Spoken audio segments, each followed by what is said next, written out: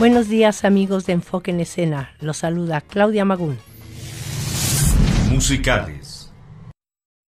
Para cerrar este 2018, la Compañía Nacional de Ópera presenta Las Bodas de Fígaro, obra en cuatro actos de Wolfgang Amadeus Mozart en una producción bajo la dirección escénica de Mauricio García Lozano y un elenco encabezado por las voces de Denis Sedov, Armando Piña y las sopranos Narin Yehillán y Letizia Vitelaru. Las bodas de Fígaro se presenta en breve temporada en el Palacio de Bellas Artes con la dirección concertadora del maestro Serva Dinik quien al frente de la orquesta y coro del Teatro de Bellas Artes se hace cargo de esta partitura mozartiana considerada una de las más grandes óperas del género bufo. La Orquesta Filarmónica de UNAM llega al quinto programa de su temporada bajo la batuta de su director artístico Máximo Cuarta y la participación solista de Sebastián Kapisch quien interpretará el concierto para violín del compositor polaco Mieczysław Kalowicz.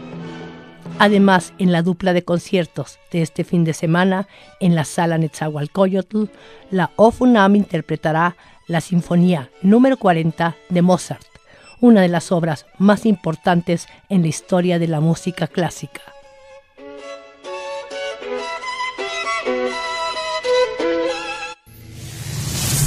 Danza.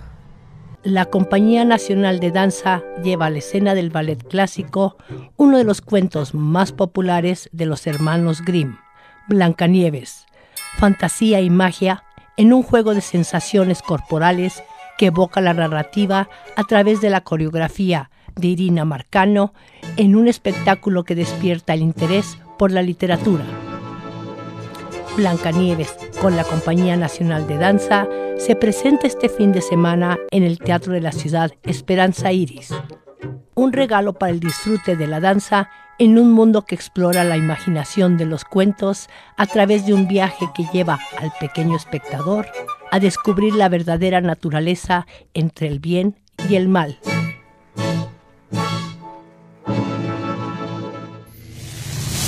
Teatro. La Bomba Teatro presenta Un banquete para el difunto Quijote, una obra creada por Alejandro Román y Luis Martín Solís, donde memorables personajes de Don Quijote de la Mancha se dan cita para recordar las andanzas y goces del difunto a partir del catálogo gastronómico que se enuncia en la novela de Cervantes. Un banquete para el difunto Quijote se presenta los fines de semana en el Teatro Julio Castillo del Centro Cultural del Bosque. Una invitación para ser partícipe del jocoso sepelio del ingenioso Hidalgo que se festeja en un gran circo donde la acrobacia, la danza, un poco de ilusionismo y un mucho de arte teatral encierran pasajes significativos de la obra más importante de la literatura española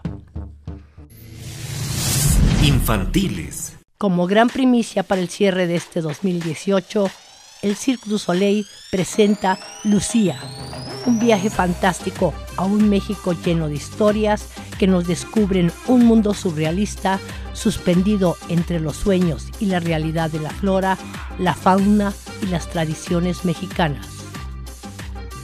Así soñamos México en Lucía se presenta de miércoles a domingo hasta el 23 de diciembre en la Carpa Santa Fe, un espectáculo diseñado por Daniel Finzi Pasca, donde el misticismo de nuestra cultura se traslada a un escenario de colores, música y sorprendentes actos circenses para crear un holgorio mexicano que va de la realidad al imaginario del Cirque Soleil.